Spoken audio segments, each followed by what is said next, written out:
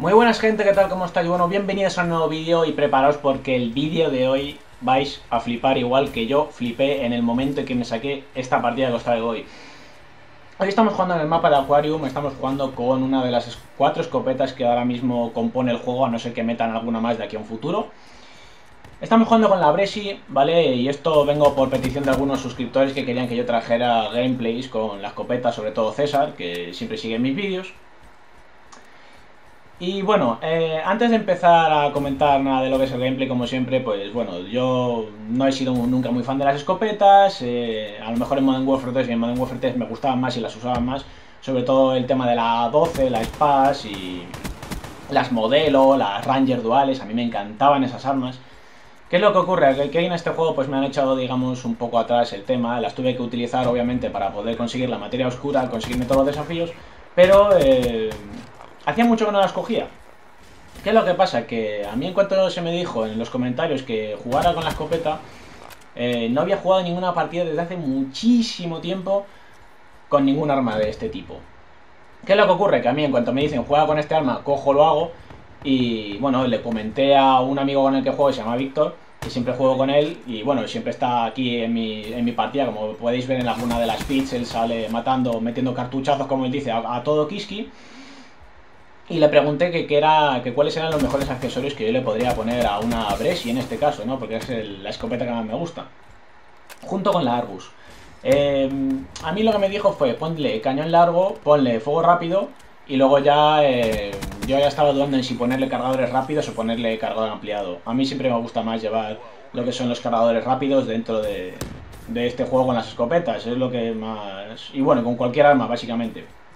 Y no os lo podéis creer que esta fue la primera partida desde hace muchísimo que jugué con este arma, porque la partida de hoy jamás en mi vida me había hecho una partida así, con escopeta.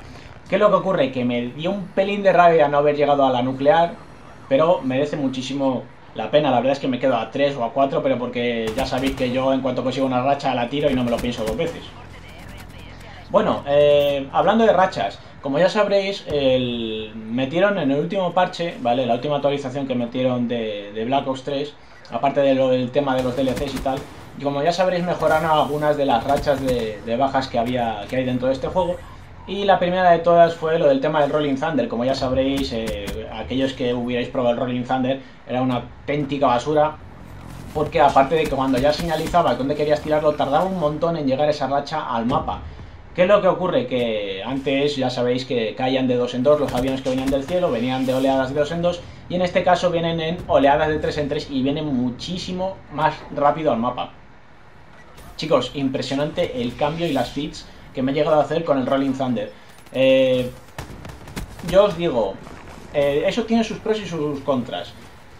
Lo bueno que tiene es que ocupa, aparte que llega mucho más rápido al mapa y a los enemigos a lo mejor no les da tanto tiempo a esconderse como antes, Sí que es verdad que si no sabéis tirarlo, eh, aparte que ya vienen encima de 3 en 3 y el rango se ha ampliado más todavía, os puede llegar a matar. Que es lo que me ha pasado, que yo he tirado Rolling Thunders esta, estos 2-3 días y sí que ha habido alguna vez que otra que me he suicidado. O sea, eso es la, la única desventaja que hay, es eso, que al ser más grande el rango de, de explosión, va a ser mucho peor para vosotros. Entonces, si no sabéis tirarlo, es mejor que no os pongáis esa racha por si no queréis perder una racha que estabais esperando más alta, como, por como con los raps, por ejemplo.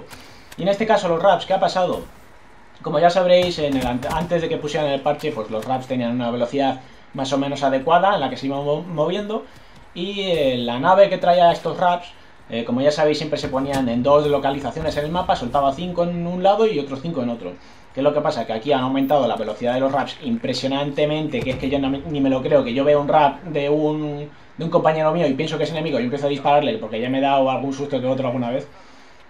Sí que es verdad que también eh, ahora eh, ya no caen de 5 en 5, ahora son de 6 en 6 o de 7 en 7. Creo recordar, o sea, me puse a contarlos más o menos muy, muy por encima. Y la verdad es que ahora, si ya los raps estaban rotos, ahora más todavía. Y os lo digo totalmente conforme como lo pienso.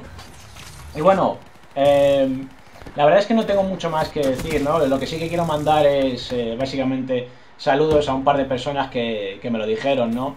Eh, bueno, en este caso quiero mandar un saludo a Yala Portugal Gameplay, que me dijo que le enviara saludos.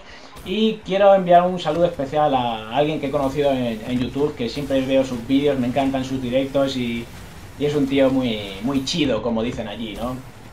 Es un tío muy gracioso, además me cae de putísima madre y me alegra saber que eh, siempre hay de estas personas en YouTube, ¿no? Y es a Yankee San, Yankee San, tío, es el puto amo, espero que te vaya muy bien y que siempre vas a contar conmigo para ver todos tus vídeos. Así que nada, bueno, os dejo con esta pedazo de partida, 53-0. No os olvidéis de votar y comentar y nos vemos en un próximo vídeo. Chao.